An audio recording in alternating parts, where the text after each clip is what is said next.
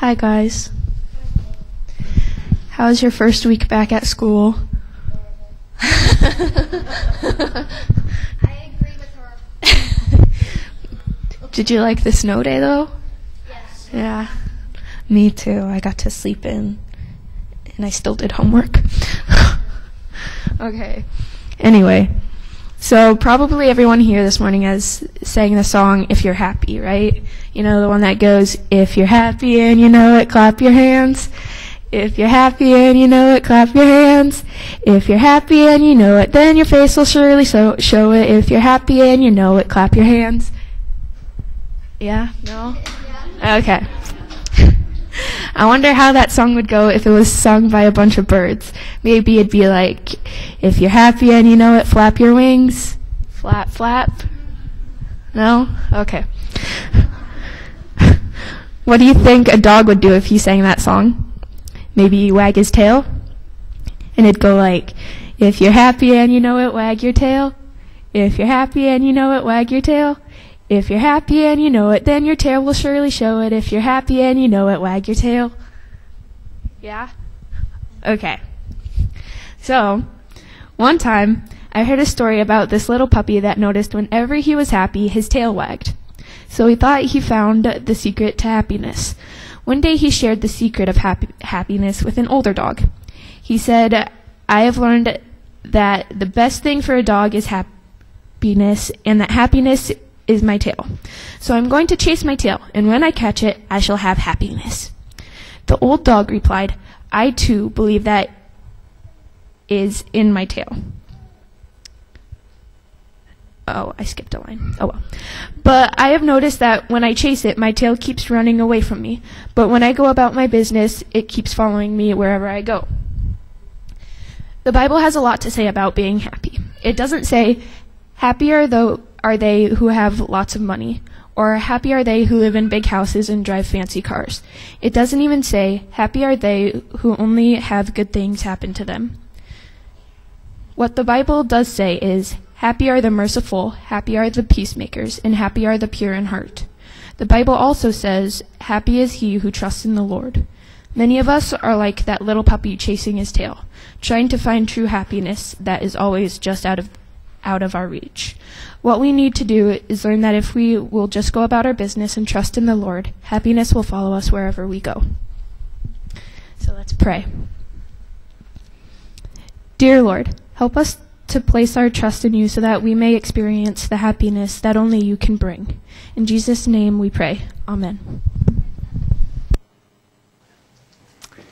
Now, Bonnie's going to uh, read to us from uh, my favorite book of the Bible, uh, Romans 8.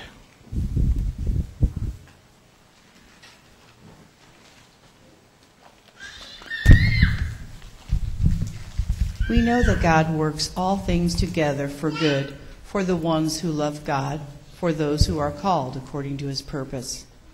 We know this because God knew them in advance, and he decided in advance that they would be conformed to the image of his Son. That way, his Son would be the first of many brothers and sisters, those who God decided in advance would be conformed to his Son. He also called. Those whom he called, he also made righteous. Those whom he made righteous, he also glorified. So, what are we going to say about these things? If God is for us, who is against us? He didn't spare his own son, but gave him up for us all. Won't he also freely give us all things with him? Who will bring a charge against God's elect people? Who is God? It is God who acquits them. Who is going to convict them? It is Christ Jesus who died, even more, who was raised, and who also is at God's right side. It is Christ Jesus who also pleads our case for us. Who will separate us from Christ's love? Will we be separated by trouble, or distress, or harassment, or famine, or nakedness, or danger, or sword?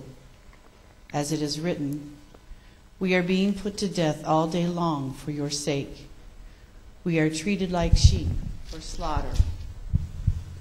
But in all these things, we win a sweeping victory through the one who loved us. I'm convinced that nothing can separate us from God's love in Christ Jesus our Lord. Not death or life, not angels or rulers, not present things or future things, not powers or height or depth or any other, any other thing that is created. So ends the reading of God's holy word. Amen. Thank you, Bonnie.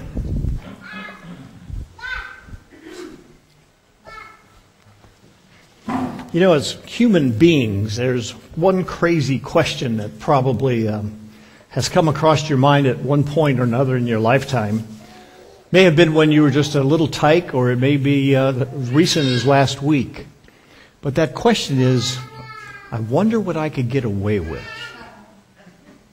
I wonder what I could get away with. Last week we started talking about uh, grace, the amazing word of grace, and what grace is. And grace is the unconditional uh, love that God has for us that is completely unmerited. We have no way do we deserve it, but God loves us anyway. It's been said that you cannot sin your way away from God's love, that it's always there.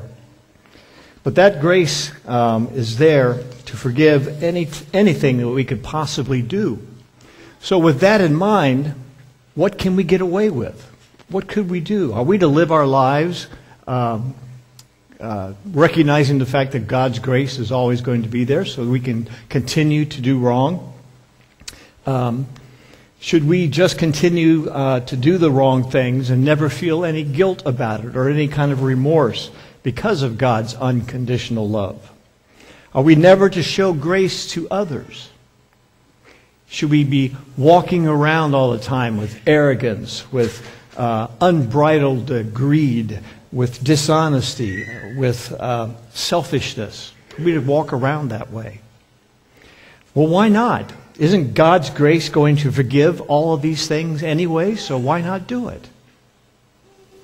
Won't His unconditional love trump any kind of sin that we could possibly come up with?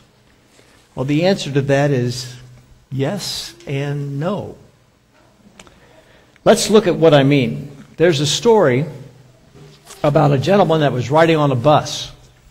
And um, he overheard a conversation between a woman that was sitting next to him and the woman that was sitting across the aisle in the other seat. And they were discussing a book called The Road Less Traveled by Peck. I don't know if anybody has read this book or not, but it's been on the New York Times bestseller list longer than any other book other than the Bible.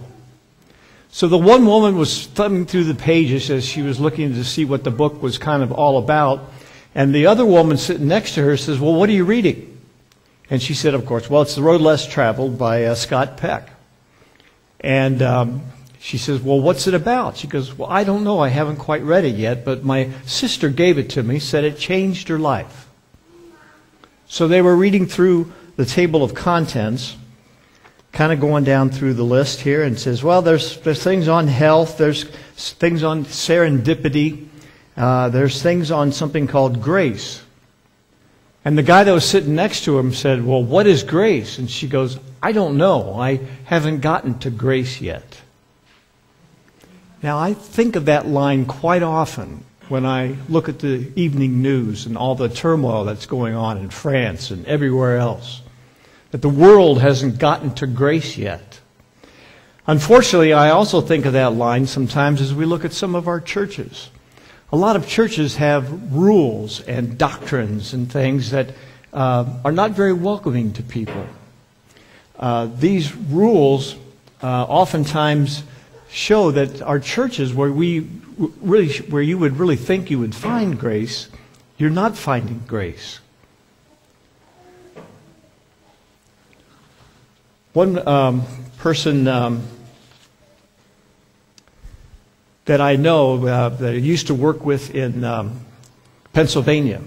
He and his wife were new to an area in Pennsylvania, so they decided to attend a particular church that was uh, not very far from them. So they went there on Sunday morning. And as soon as they walked in the door, someone grabbed her and started leading her away because the women don't worship with the men in that church. Now, she's a very painfully shy person, and she was not very comfortable with this at all. But Dave said you could always see the uh, anguish on the face of the person trying to get her away because they women were just not allowed. That was a rule they had that women were not allowed to worship with the men. So the children that uh, came with them were immediately taken away uh, from the sanctuary. Couldn't be in the sanctuary. They had to go to a, a Sunday school class where they sat the whole time, and it was a two-hour service. So that's kind of a rule that says, well, women aren't allowed to worship with the men in our church.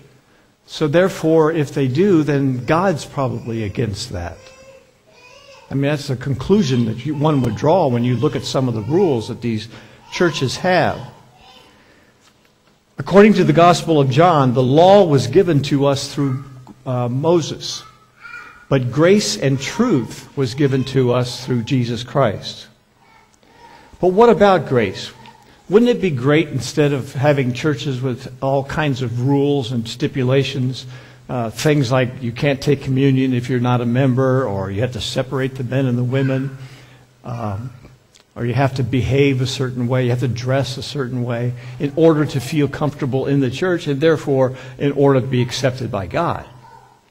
Wouldn't it be great if churches had a contest of some kind?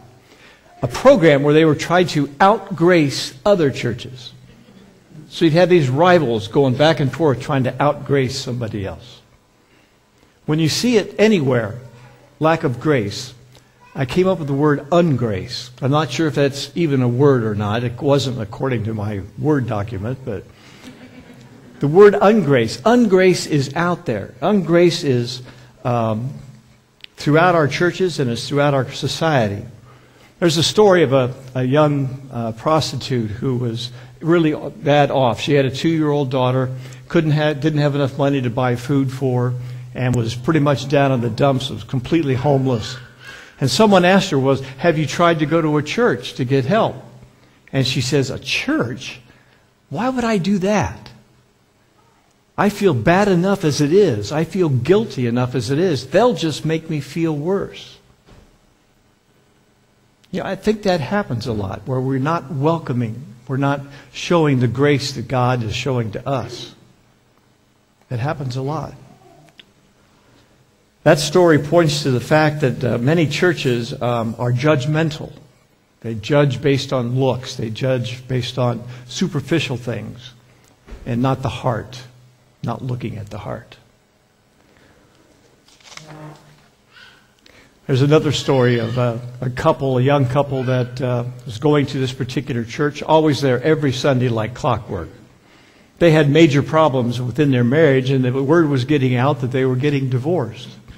So one Sunday morning, just the wife came with her 15 year old daughter, and a woman came up to her and said, How in the world can you and your husband both love Christ and still think you can get a divorce? It tore her up.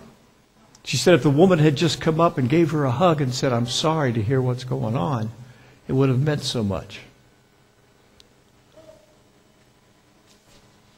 Comments stunned the woman. According to Mark Twain, when he talks about people, he says, People are good in the worst sense of the word.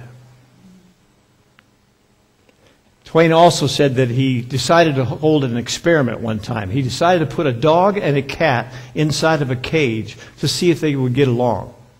They spat for a little bit at first, but eventually the dog and the cat got along okay. So then he decided to put in a, uh, let's see, it's a pig, um,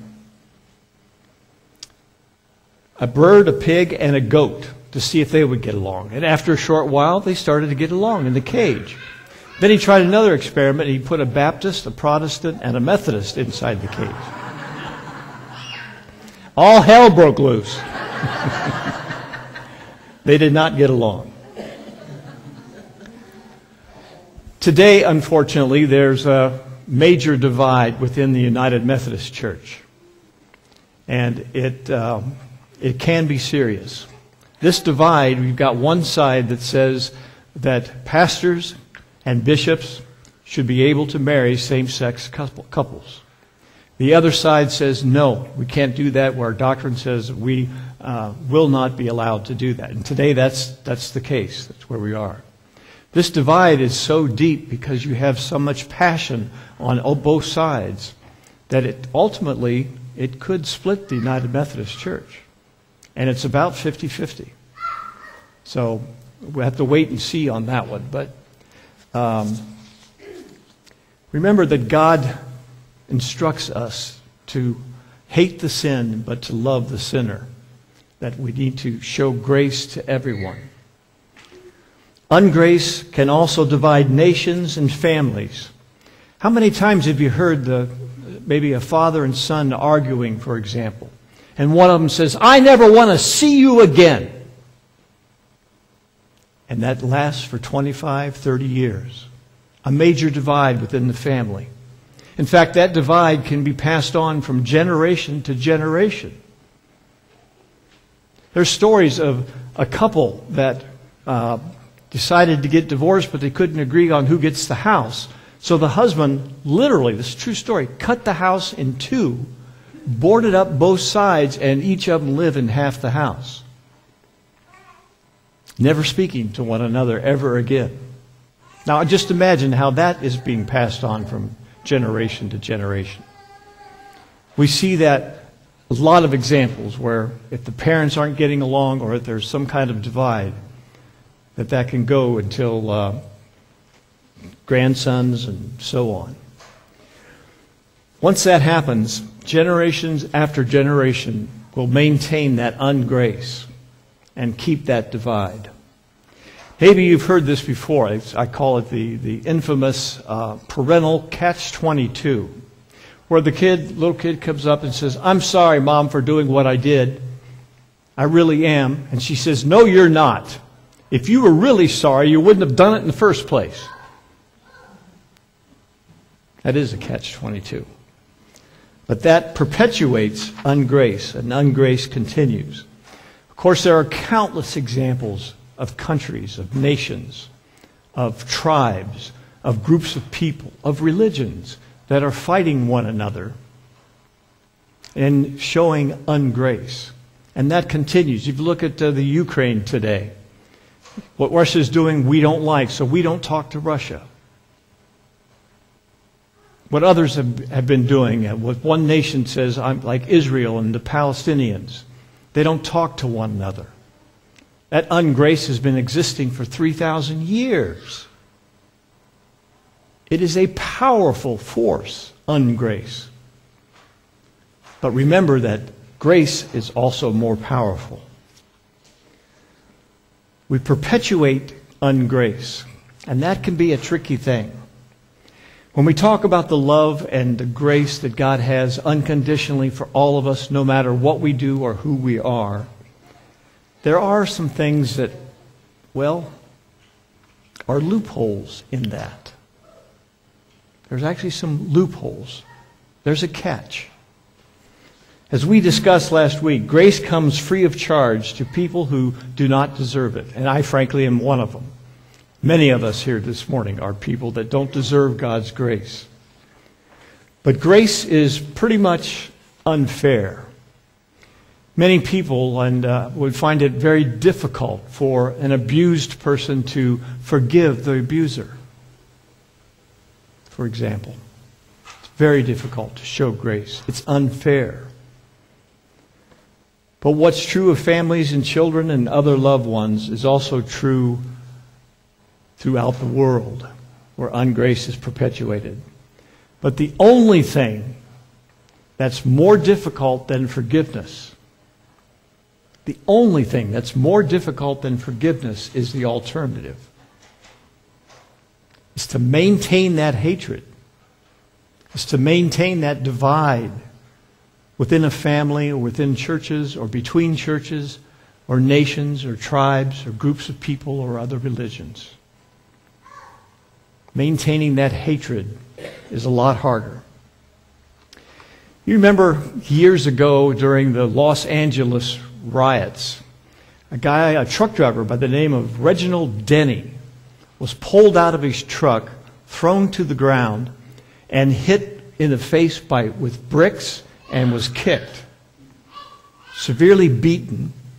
During the trial, when he was up on the stand, you could still see his caved in face and the big stitches that went all the way around his head. And against his lawyer's advice and against everybody else's advice, he went up to his accused attackers and their mothers and said, I forgive you. If you remember how badly beaten he was, how hard that would have been to say, I forgive you, but he did. The mothers hugged him and said, We love you. That divide is not, was not maintained.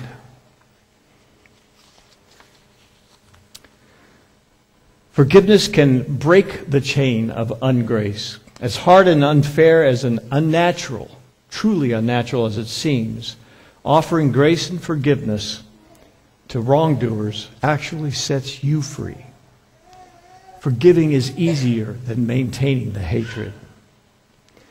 There's another story of a teenager that was attending church, spent the, the whole hour there in church, and afterwards he came up to the pastor and he said, Pastor, you know, this Christianity thing, to live like a Christian, that, that's really hard. The pastor looked at him and said, No, it's not hard. It's impossible. And here's the loophole. Here's the catch. It's impossible to do it by yourself. You must open your heart and accept Christ into your life. And when that happens, anything is possible. Anything is possible. The loophole is that in order to receive the grace of God, you've got to go through Christ to get it. And when you go through Christ to get it, you do not do the wrong things anymore. Or, but if you do, you've got the forgiveness and love of Christ right there with you when it happens. When it happens, that's the loophole in God's unconditional love and grace. Receiving it, accepting it, comes through Christ. Here's another true story out of Australia a prisoner was sentenced to life imprisonment in a maximum security prison in a small island off the coast of Australia. And life was so difficult there that while he was there, he grabbed uh, another inmate, started beating him, and killed the inmate, the other inmate, beat him to death. They took him off the island, took him over to the mainland, and uh, before a judge, and the judge says, "Why did you do that?" He said, "Well, life is so bad in that prison that I didn't want to be there anymore. The judge says, Well, why didn't you just take your own life? He said, Well, if I did that, I would go straight to hell. This way, I can kill somebody else and beg for forgiveness, and I won't do that. He got the death penalty, but that's how, that was his rationale. The fact that he abused or exploited God's grace. You see, to oversimplify people in the world, people can be put into two groups. And it's not two groups that you think about where you have the, the guilty and the righteous, the good and the bad. It's not that. Everybody is guilty. Every one of us is guilty. But the two groups that you can divide the guilty people into are those that admit their wrongdoings and those that don't. Those that accept Christ turn themselves in to God by turning their life over in complete surrender to Christ. And you've got the others that continue to do wrongdoings, that don't admit their um, mistakes, that don't take it to Christ. The one that turns themselves into God and admit their wrongs can accept grace and they can, are clear completely to receive it. During the building of the Golden Gate Bridge out of San Francisco, as they were building the bridge, they had many unfortunate accidents happen. Some of the workers were working in fear because a few of them had fallen off the bridge and fell to their death as they were building it. And of course, the people that were building it uh, said this is costing us a lot in time and delays, and the men are not working right because they're more concerned about their safety than they are about getting the bridge done. They didn't know what to do. So one of them had, a, had an idea. He says, well, why don't we just put up a great big net underneath the bridge as we build it? And if any of them fall, the net will catch them before they hit the water. And at first they laughed at that solution, but then they realized that's pretty good, so they did that. They put the net underneath as they were building the bridge. Men fell, but not to their death. They were caught by the net and saved. The men became more productive as they were uh, building the bridge because they weren't working in fear. That's the way God's grace is. Well, if you fall off and make that mistake and take it to Him, God's grace is there for you. God's unconditional love is there for you. Think of the safety net. Finally, one last story. Guy went to uh, heaven. He was a good man. Went to heaven. St. Peter's there talking to him at the gate. He says, Okay, you need a thousand points to get into heaven. He says, Well, how do I get a thousand points? He says, Well, you've got to go through what you did in life. And we assign points to those. And if you get up to a thousand, you're coming in. The guy thought for a minute. He says, Well, I, I taught Sunday school for 40 years. The guy said, Okay. Peter said, okay, that's worth one point. He says, well, I also was very loving and faithful uh, husband and father to my kids. And uh, uh, St. Pete says, okay, that's, that's worth one point. He said, well, I, tithed every Sunday. I gave 10% of my income to the church. St. Peter said, that's very good too. You get one more point. He thought for a little bit more and didn't know what to, what he's going to come up with. And finally said, okay, well, I was deacon and I served on the board on my church. And St. Peter says, well, that's worth a half a point. Put that on there. The guy's getting totally frustrated. He says, how many points do I have? And St. Pete says, you've got 12. He had no more things to do. He was totally frustrated. He said, my word, the only way that you can get into heaven these days is by the pure grace of God. And the guy says, That's a thousand points. Come in.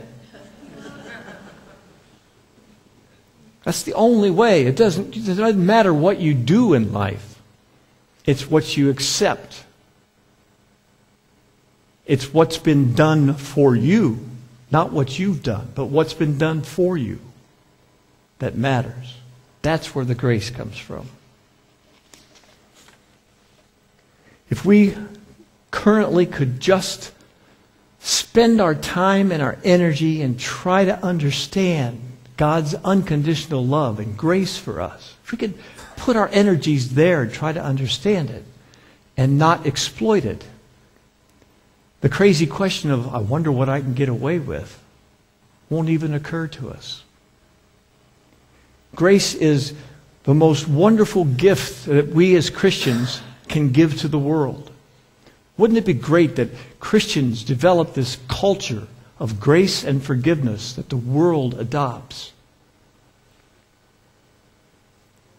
You would not perpetuate ungrace, but you can perpetuate grace from generation to generation. What a gift. Amen.